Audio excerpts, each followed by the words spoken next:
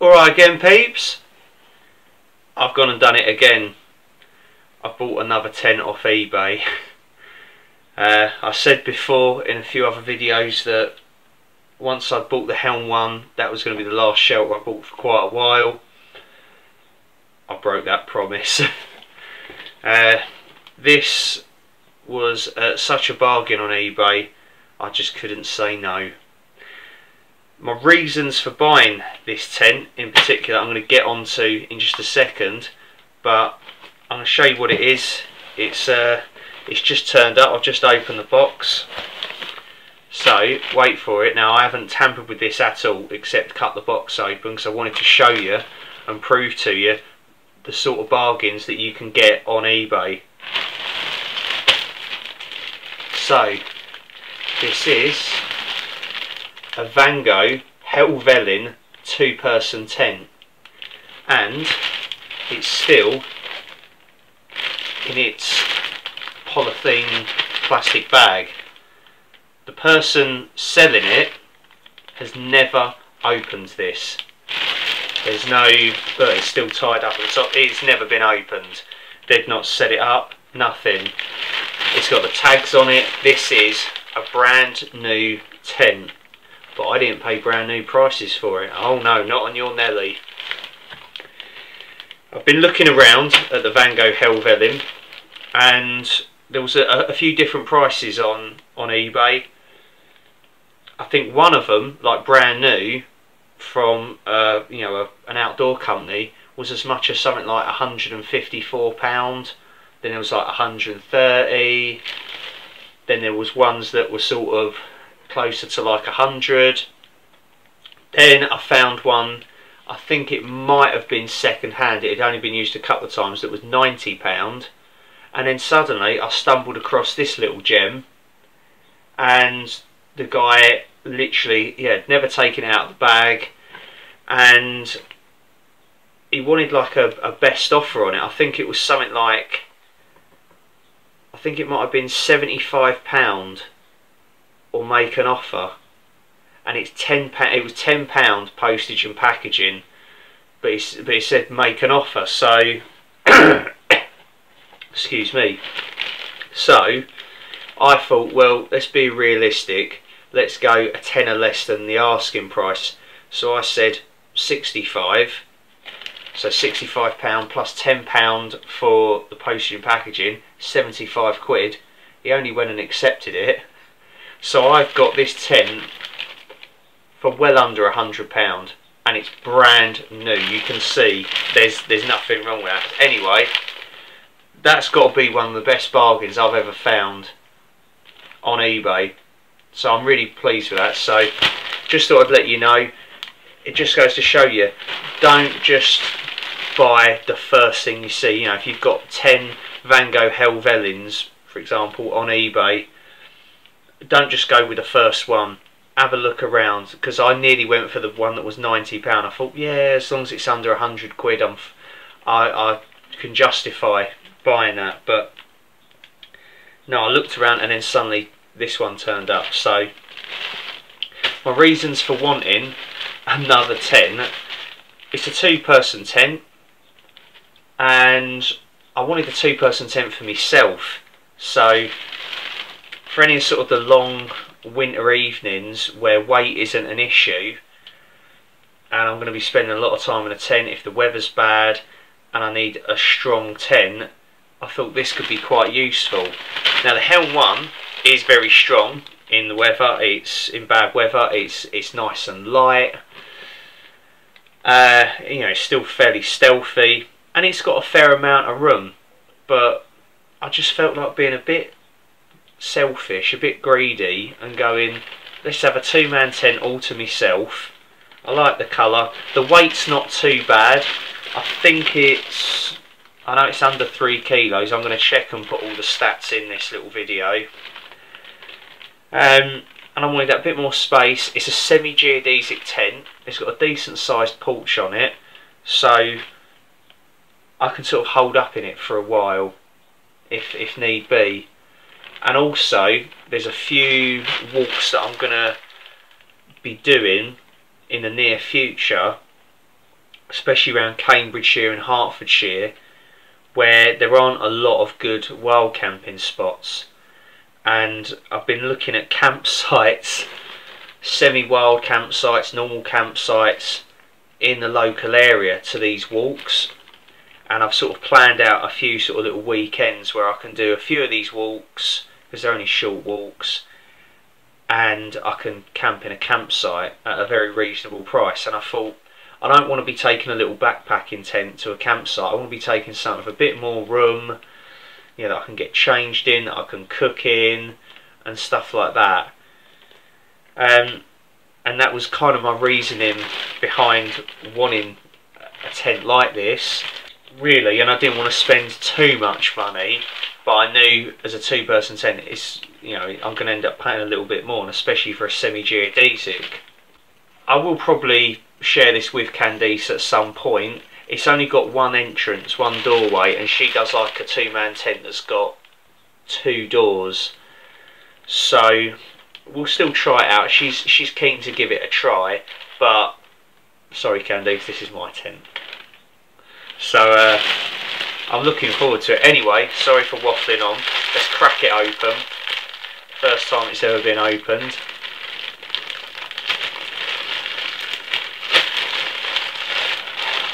Oh, it's got that new smell.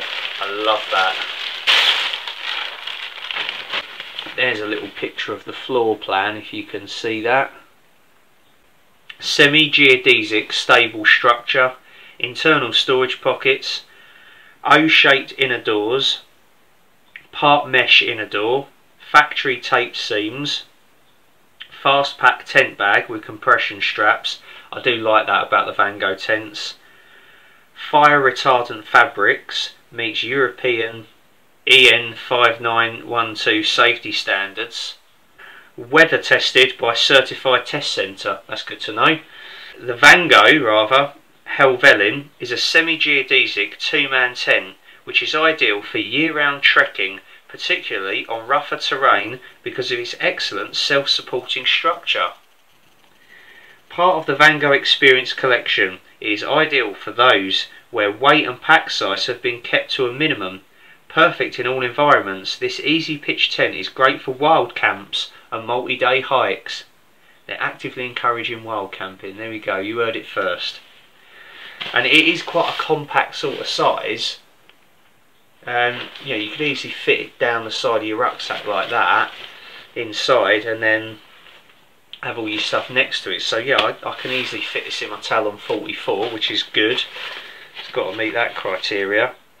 Um, it's a, a an all-in-one pitch which is brilliant. I, I don't think I'll ever buy another tent that's pitching a first now. I'll, that's one of the things I'll only always buy pitch all in one just because if the weather's bad you're screwed. Um, the fly sheet is Protex 70D. It's got a 3000 millimeter hydrostatic head. Uh, breathable polyester inner tent. The ground sheet is 70D 6000 millimeter hydrostatic head. So that's pretty good, 3000, 6000. I like the sound of that.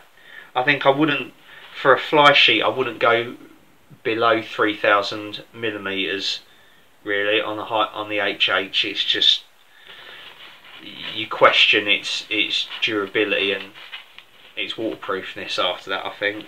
Could be wrong though. Um, the poles are power light alloy poles which is good. I like that's another thing as well is I, I don't really like the fiberglass poles anymore just because I've had them snap before in strong winds and stuff they only last a certain amount of time, whereas the alloy poles are pretty tough. The important bit, the trail weight is 2.46 kilos. The trail weight, okay, by the way, is the total weight minus the tent bag, pole bag, peg bag, and secondary pegs. I didn't know that. Interesting. Total weight is 2.8 kilos. So it's a, so its total weight is only about a kilo more than my Helm one. Yeah, anyways, I'll keep the tagger on it for now. Let's get it open. This is exciting. yeah, good fast pack system with these bags. I absolutely love that. And you can cinch it all down. Just angle the camera down so you can see what I'm doing.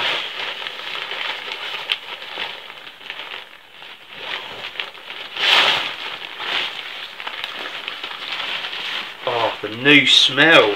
It's amazing.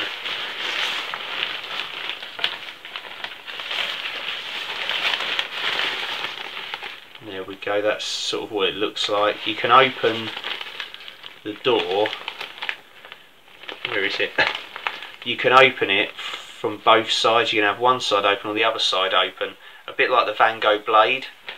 A, few of the Vango tents are like that. It's a really good good design feature.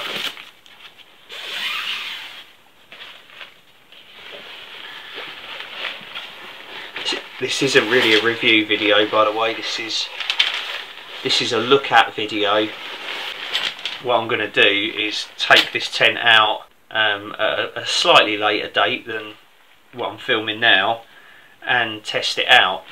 I'm not really going to pitch it in the garden, I'm going to try and do it on its own little wild camp somewhere. The pegs, oh, they're brand new pegs. Mate, I'm not, well, of course they are, Tom. There's our repair kit, patch repair kit, and then, wow, they're the normal shepherd's hook uh, stakes, and they're pretty lightweight. They're not bad pegs. I mean, they do bend a little bit over time. You can't go wrong with the like the Y beam or X or V stakes, they're really good. I personally prefer them. They're a bit lighter and they're much much stronger. However, these are still pretty good. Um, but I know that I will have to replace these probably at some point because they do tend to bend quite easily. So we've got two, four, six, eight, ten, twelve, fourteen.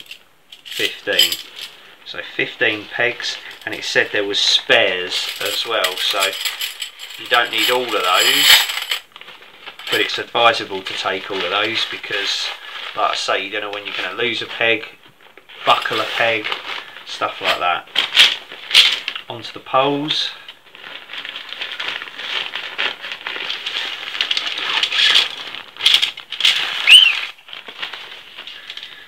So they're those power light alloy poles and it looks like they could be colour coded.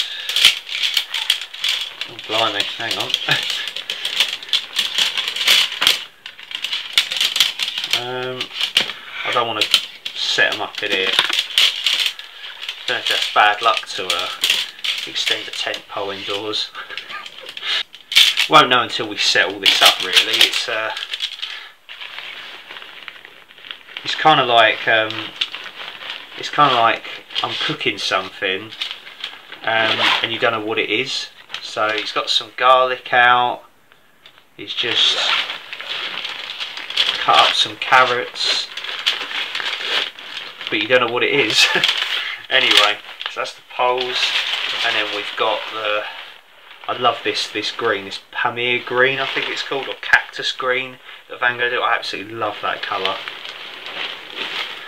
Fly sheet and the inner is all clipped inside of it as well.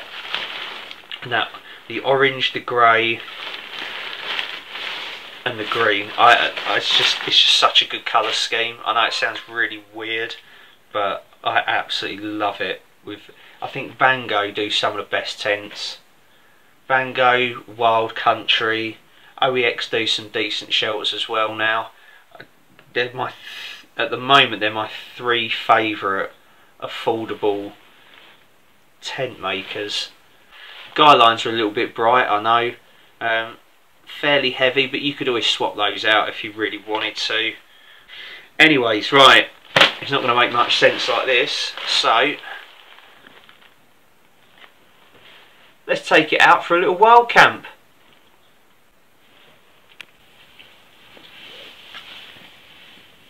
Good evening everyone. So you've probably just seen the little introduction that I did back at home regarding my new Vango Helvellyn two person tent.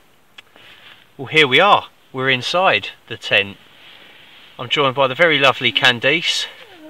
She's tucked up in her sleeping bag.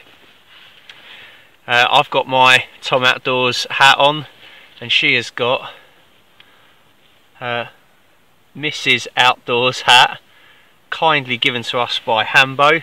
Cheers, mate. Candice won't wear it on camera because she thinks she looks stupid in hats, but it's kept her head really warm. Uh, but yeah, so she's hiding in her sleeping bag. Um, you toasty, you warm? Yeah. Yeah, she is, bless her. So, you're probably wondering where we are. We are on top of Ditchling Beacon, the highest point in East Sussex tonight.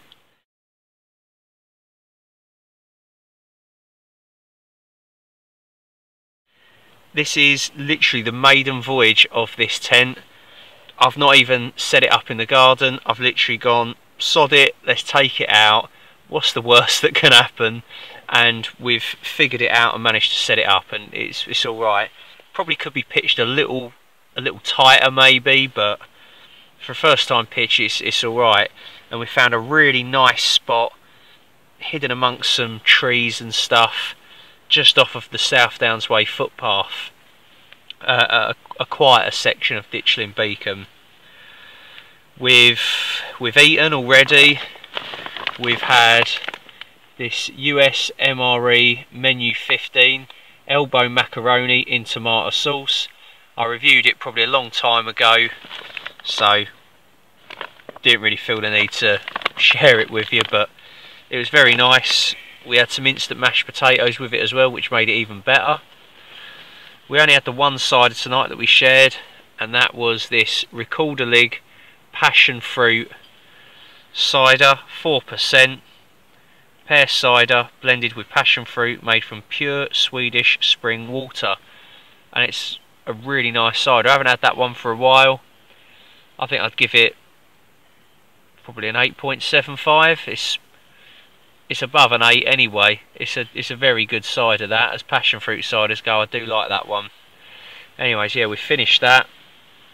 So we'll be telling you a little bit more about Ditchling Beacon and the Iron Age hill fort as well that's here in the morning and we'll show you the views. We can see all the lights on down below. It looks pretty cool. My mate Ben, London Outdoors, he wild camped here a while ago now, I think in the summer, and yeah, we we've pretty much kind of copied the route he took and sort of sort of the the spot roughly where he he wild camped. So um, yeah, plagiarism's the the greatest form of flattery. Cheers, mate. Yeah, I um he did recommend that I come up here, and I thought yeah I'll take him up on his word and come up here. He also kind of inspired me to to buy a two another two person tent uh, like a semi geodesic one that I could use on my own for like a really luxurious camp where I was kind of tent bound so if it was like really bad weather in winter I could just stay in it and it would be spacious enough. Not that the Helm one isn't spacious but I just wanted something semi geodesic two person and of course it also serves a dual purpose that if me and Candice are doing like a long distance walk or sort of a big walk where the weather could be bad or really windy and you need that semi-geodesic strength we could you know we could use this tent because it's it's not as heavy as our Puma OEX Puma 2 which we're still going to use and we still love that tent. That is still our two person tent of choice but this one, the Helvellyn, is slightly lighter. So I'll just read you the stats again here in case you've forgotten. So it's trail weight, which is the total weight minus the tent bag, pole bag, peg bag and secondary pegs. Which it didn't come with any secondary pegs because we used them all for the guy lines as well. Trail weight is 2.46 kilos. The total weight is 2.8 kilos. So you can just see if you did away with all the the bags, you know, you could save a little bit of weight there. Um, it says pitch time was 10 minutes. It probably took us a little bit longer as it was our first time setting it up. The hydrostatic head on the fly sheet's 3000 millimeters, which I would say is about the minimum I would go. Anything less than that, and I'd, I'd probably question how waterproof it is. So, yeah, that's that's that's fine by me. And the ground sheet is a 6000 millimeter hydrostatic head. Also, it has to be a bit stronger, it being the ground sheet. The poles are power light alloy lightweight aluminium poles. They even say on them like front pole, back pole, stuff like that. So it's got three poles, one that goes over the front here near where the camera is, and two that sort of cross over and go through the back, which you might be able, I don't know if you can sort of see the the shape of the tent. It sort of does go to a slight point, and of course the doors behind the camera. Uh, it's the the usual orange, gunmetal grey, and Pamir or cactus green that a lot of Vango tents come in. Great colour scheme. We split the weight between us for the short walk from the car park to here. I think Candice had the poles and the pegs, and I had the the fly sheet and the inner. We are in a sort of little sheltered sort of dip off of the main path, so it's not as windy here. There's a slight breeze that we can feel, and it is it's holding its shape really well. Candice can sit up in the tent. I can't quite. so the benefits of being small, as she said. Um, whereas the Puma, of course, I can sit up in. I don't want to. I don't want to compare this tent to the Puma because that would be unfair. Because of course, for luxury and space, and even strength of design, the Puma trumps it. However, the colour of this one's a bit stealthier, it being green it's lighter it packs down smaller so it's, it's, it's got some uses that me and Candice you know could find mm. really for when we do as I say like a long distance route um, we want to do what have you farted? No what are you laughing about? You rubber baby jumped in did I? Oh sorry I put my hand up. Anyway um, so I mean things like the Thames estuary path when we do that together be quite a good little tent to take. Mm. um, yeah it's the only problem with the OX Puma is it is quite a heavy tent but what you get for that weight is is brilliant so yeah so don't worry we're not getting rid of that tent um, we're keeping that one that's going to be our main two person tent this really is going to be for me to use on my own but every now and then Candice will will be invited to share it with me. So we haven't we haven't split the cost of this one. This was all out of my own pocket, whereas like the Puma, the Vango Nevis before that, you know, we we shared the cost on it. So you know, we sort of co-own the tents. Which is your tent? This is my tent. Did you put it your tent? Yeah.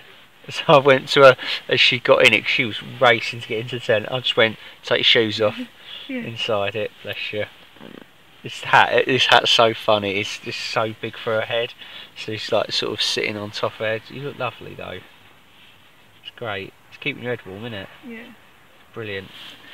So yeah, we've we've eaten well.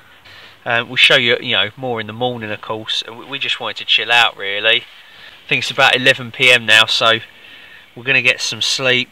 I've got some breakfast to cook up in the morning. We'll show you the amazing views. We'll tell you about the hill fort. Uh, I'll tell you what I suppose you all want to see is what my initial thoughts are on the tent. I mean, I'm pleased with it so far. I'm really pleased with it. Uh, but, you know, I'm going to wait until I've done a, a, couple more camps with it, really. So far, though, I'm pleased with it. It's got a really big porch on it as well. Don't know if the porch needs to be uh, a bit tighter, though. It seems a bit, little bit sort of flimsy. Uh, but it could just be where we're on a little bit of a slope and I don't think I've, I've, pegged it out as tight as it could be or I haven't tensioned it properly so it's probably not the tent's fault there's loads yeah loads of space you know we can fit the rucksacks a little table set up in there my little arse mat which I've just spilt a drink on so it, it looks like it looks like someone shit themselves outside there like if they've had about five curries like Vindaloo's, it looks awful out there, but it smells of chocolate. And Candice was laughing, and I was like, no! It was like a, a, a protein, a chocolate protein powder drink that come in the ration pack. I was really looking forward to that. Yeah, because protein means gains. So now the, gra- the grass has got the gains. So we're going to open the tent door in the morning. The grass is going to be about five foot high. You know, it's, yeah. Anyway, gym gym jokes. Yeah. Moving on. It's an outdoors channel, Tom. We're going to aim to get up for about 7 a.m. something like that. And yeah, we'll let you know what we think of it, how we sleep. Anyways, it's all good so far. We're having fun. So, unless anything of interest happens in the night, I will see you tomorrow. It's a good night. Good night. Night.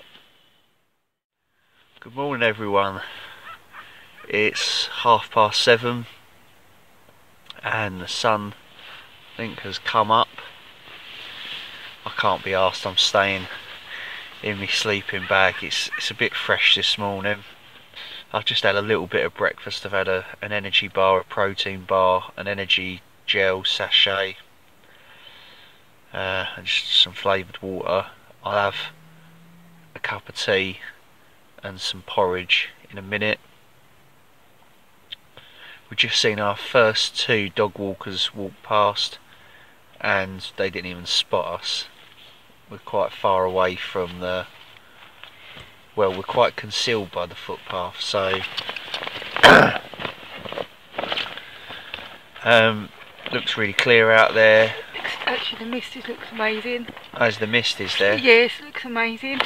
excellent well um yeah I will venture out the sleeping bag in a minute and show you but I'm just sort of acclimatising to to the cold at the moment but no, I'll be fine once I get moving and stuff. It's probably if you if you don't move, it's the worst thing anyway. So the tent. Let me see if I can show you the tent. So you can see sort of where me and Candice were. She was sort of laying here. I was here, so we sort of had a little a little gap between us. And I'm not touching the the walls of the tent so it was it was spacious. Of course it's nowhere near as spacious as the the OX Puma. I swear that's more like a three person tent uh, than a two person so you know it's not as spacious as that but this is it's still got more space in it than the Vango Nevis did. So it's somewhere in between the two and it's and it's as strong as the Puma. It's got that, you know, the shape, the semi-geodesic design. Uh, the porch seemed okay. We did have a little bit of rain in the night as well. I'll show you the other way, hang on. So there's the porch out there.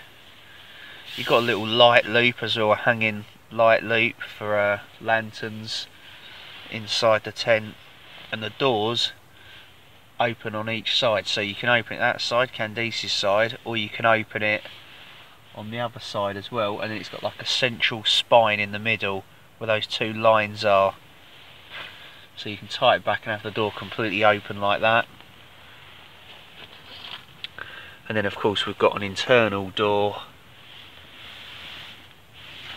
here as well uh, that's got like a where is it? Like a little piece of mesh. Little piece of mesh at the top. It's quite simple in design and it's only got one zip that just goes all the way around which I was quite surprised about. Um, I thought you'd have a zip that you could you know open sort of multiple ways and stuff but so it's sort of a simple design but it's made well. There's a big pocket on each side for storing stuff in. I don't think there's a light loop up the end, no there isn't. So there's just the one light loop up there, but that's fine, that's kind of all we need really. And it sort of does narrow uh, down to the bottom there.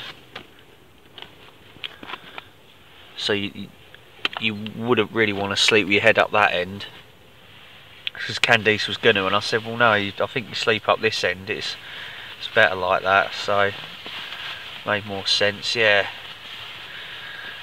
Oh anyways. Yeah it was a, a good night's sleep. I, I slept really well actually. Uh, I was snoring apparently. No night terrors. The cows there's some cows in the field behind us behind a like a barbed wire fence. One of them started off in the early hours apparently and they all started mooing and I think they might have congregated to sort of near where we are on the you know behind their fence. We're gonna you know get packed away. I'll show you the tent. Show you the views of course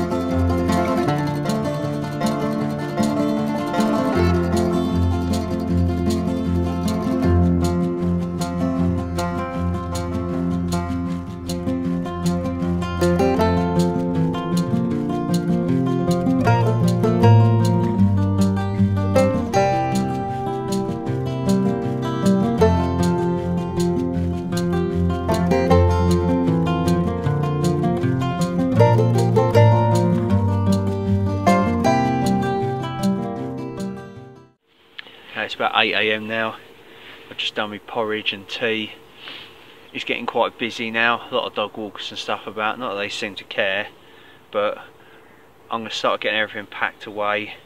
So sorry I've not filmed a hell of a lot. Um, I'll give you a quick show around the tent and then we'll, we'll get it taken down. We've got everything inside it packed away. And then we can just sort of get get the chairs out and just sort of sit and chill out really. Um, really looking forward to my apple and blueberry porridge. I've got some uh, some of those breakfast fruit toppers in it, like yogurt covered raisins and apricots and mixed nuts and stuff in it. It's pretty good. And I've got an English breakfast tea. I'm looking forward to that because it's, it's pretty fresh out today. But the sun's coming up now and I'm sort of getting the warmth on my back. It's absolutely lovely. Um, yeah, we did have some rain last night, only a little bit for probably half hour. Not even that. Not even that, probably 15 20 minutes. Uh, it was around about midnight, I think. And you can sort of see there's a bit of rain on the tent, but it's beaded nicely. I say 3000 mil HH it should do. So this is the tent. So you've all been wanting to see it set up. And you've got a guy line running down the centre from the front. You've got one on each side. And then got to negotiate my way under this tree. Oh! And then you've got two guy lines at the back. There's an air vent there at the back and then there's one on each side which are conveniently right by your, your face if you're a side sleeper which I thought was quite good. Yeah there that's our rubbish bag. We'll take that with us of course. Um, yeah it's actually really really simple tent to put up. Like I say this was the the first time it's ever been used and we set it up in the dark. I did most of it on my own and it was it was pretty easy. You can see how it, it's semi-geodesic it crosses over there and then at the sides here I do think in strong winds and stuff you'll need well of course you'll need the guy lines out but I think just to give it a bit extra shape it does require the guy lines especially at the sides. But yeah I can't really fault it. The porch is quite long and narrow. You know it tapers to a point.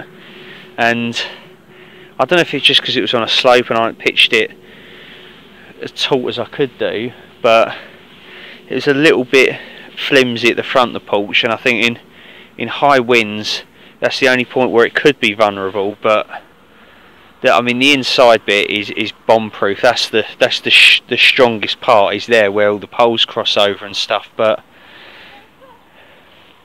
we'll have to test it out in some uh, some stronger conditions, you know, worse conditions. I mean, last night we just had a frost, tiny bit of rain, no wind, and it was just cold. But we'll have to see what it's like in strong winds and prolonged rain. I'm sure it'll be fine in the rain. It's the winds I'd like to test it out in, so we'll see. We're getting a lot of dog walkers coming by. Candice is out there, bless her. I think she's like keeping watch or something. she's bless her. Yeah we need to get her a new sleeping bag because she didn't tell me she's been getting cold so she wants a four season sleeping bag so if anyone out there can recommend Candice a good four season sleeping bag preferably down so it's lightweight and packs up small Cheap as well. cheap as well get in the comments and uh, give her some suggestions so because she needs a, a better sleeping bag don't you Yeah, getting a little bit. get a bit nippy. Bless you. She's got a hat though. She likes her hat Yeah. from Hambo. It on though. She ain't got it on now. She won't wear it on camera. Um, but it, it did keep her warm last night, so that was good. So cheers, Hambo. Thank you, Hambo. Good tent. I'm I'm impressed overall. Definitely. Um, yeah, you can squeeze two people in it, but it's more suitable. It worked better as a one-person tent, whereas the OEX Puma 2 That's that's a good two person tent. You can easily fit two in there with space. You know, you, you could hold a massive orgy in there if you wanted. Yeah, anyway. Moving on. Right, let's take the tent down. Well, it's nearly half past nine. We've been sat here eating breakfast and just admiring the view. We're packed up. The tent's, yeah, sort of a little bit wet but we can dry that out just some flat grass remaining leave no trace. So we're going to head off that way back towards the car park and we'll go and have a look at the the trig point and see if we can find the remains of the hill fort up there. And then we'll probably sign off. It's been a good little camp. Good little test for the Vango Helvellyn definitely. So enough talking. Let's get walking. Ditchling Beacon is the third highest point on the South Downs in southeast England. It consists of a large chalk hill with a particularly steep northern face covered with open grassland and sheep grazing areas. Situated just south of the East Sussex village of Ditchling and to the northeast of the city of Brighton, it is the highest point in the county of East Sussex. This represented an excellent position for defensive purposes and is known to be the site of an early Iron Age hill fort. A single defensive bank and ditch enclosed an area of approximately 13.6 acres. Relatively little excavation of the fort has been carried out, however, and the existence of dew ponds, paths and tracks as well as regular ploughing activity over the years reduces the likelihood of any significant discoveries in the future. The hill fort is of a rectangular univallate design dating from the Iron Age. It has unfortunately been much mutilated at various points in its long history, suffering from dew pond digging to post-war deep ploughing. A limited excavation in 1985 established an early Iron Age date based on pottery found in a rampart dump. And a carbon 14 date of 902 to 340 BC taken from animal bone found at the bottom of a rampart ditch. The hillfort defences, which survive in the form of earthworks and as crop marks visible only on aerial photographs, enclose a roughly rectangular area. The trig point at Ditchling Beacon marks the highest point in East Sussex at 814 feet or 248 metres above sea level. The later beacon, located in the northern sector of the hill fort, takes the form of a circular mound around 10 metres in diameter and around half a metre high, on which a later modern OS trig pillar has been sited. The location of the beacon makes use of the prominent location of the monument, which commands extensive views of the Channel coast to the south and the Weald to the north.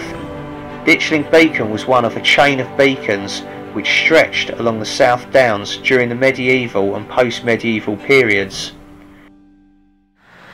We're back at the car park at Ditchling Beacon and we're going to head off now, find a cafe somewhere in the nearby area, have a look round at some other stuff uh, and then head off to another location for a camp tonight. But that is going to be another video. So that is the end of this video. The maiden voyage of the Vango Helvellyn two-person tent, which I'll be using mainly on my own. but as I say, every now and then, me and Candice will share it for longer walks and stuff. So yeah, it was a quick look at it and a little wild camp here at Ditchling Beacon. First time I've ever been here. Uh, the highest point in East Sussex. So I want to say thanks to Ben for inspiring me both on the tent and to come to Ditchling Beacon. It's been really nice here. and amazing. it's amazing, isn't it? The Views are amazing. The views are stunning. So uh, keep your eyes peeled for our, both our Instagram accounts as well because we'll be posting some photos and whatnot up there. And yeah, of course, we'll be posting, well, you'll see this video, of course. So yeah, it's been good. The weather's been pretty kind to us. It has been chilly. It's the first wild camp I think I've done lately where I've felt like, yeah, this is winter now. It, it's cold and stuff. So you know, cracking all the winter gear out and stuff. But it's good though. I'm looking forward to more camps in the winter and stuff like this. And I'm definitely looking forward to coming back and doing more stuff on the South Downs and eventually walking the entire South Downs way. I can see why people do it. It is an incredible place. So until next time, take care of yourselves, look after each other, stay safe everyone, and remember get out there and explore. Life's far too short. See you again soon. Bye. Bye. Peas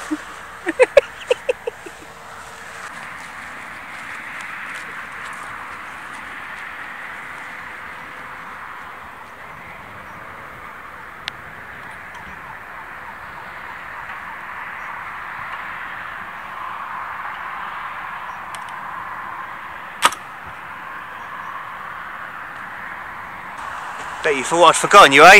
Not on your Nelly.